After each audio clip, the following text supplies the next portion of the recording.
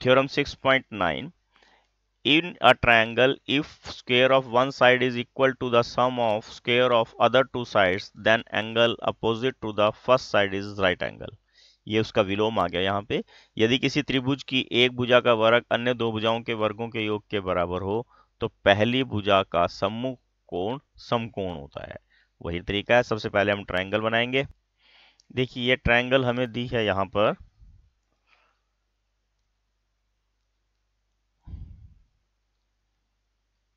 ए ये बी और ये सी अब इस ट्रायंगल में हमें दिया क्या है देखिए? गिवन दिया है। उन्होंने कहा इनकी दो भुजाओं का वर्ग। हम सपोज़ करो ए सी का स्क्वेयर क्योंकि ए सी हम हाइपोटेन्यूज है। A B square plus B C square ये हमें गिवन है। अब हमने प्रूव क्या करना है यहाँ पे? सिद्ध करना है कि बी 90 डिग्री का है। क्या प्रूव करना? Angle B is of 90 degree. हम क्या करते हैं? इसके सिमिलर एक अपनी कंस्ट्रक्शन और बना लेते हैं, सेम ट्रायंगल। और इसकी नेमिंग हमने क्या की? पी क्यू आर ये हमने इस मुताबिक लिया ताकि ये हमारे को 90 डिग्री का मिल जाए। ठीक है? तो हम यहाँ पे देखिए प्रूफ में क्या लिखेंगे? प्रमाण हमारे पास क्या आ जाएगा? हमने पी क्यू आर जो हमें ट्रायंगल दी हुई है, हमने इसकी रचना की है और क्या रचना की है कि ताकि ए बी इक्वल टू हमें पी क्यू मिल जाए और B C equal to Q R हो और एंगल क्यू 90 डिग्री का। ये हमने अपनी रचना करी है, यहाँ पे ये कंस्ट्रक्शन की है एक।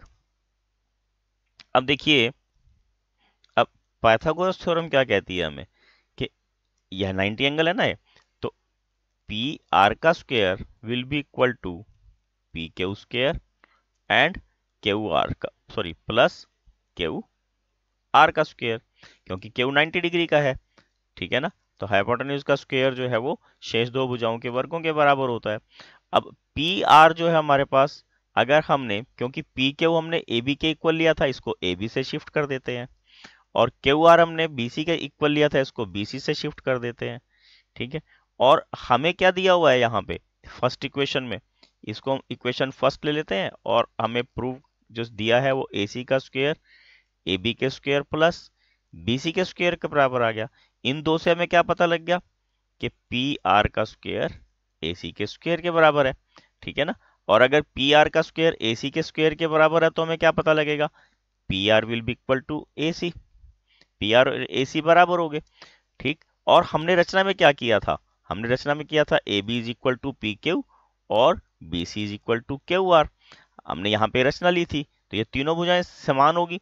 और अगर ये तीनों समान हो जाएँगे तो क्या हो जाएगा? Triangle congruent to congruent P triangle R और अगर कॉन्ग्रेंट है तो triangle angle B is equal to angle Q क्योंकि सर्वांग त्रिभुजों के संगत भाग बराबर होते हैं।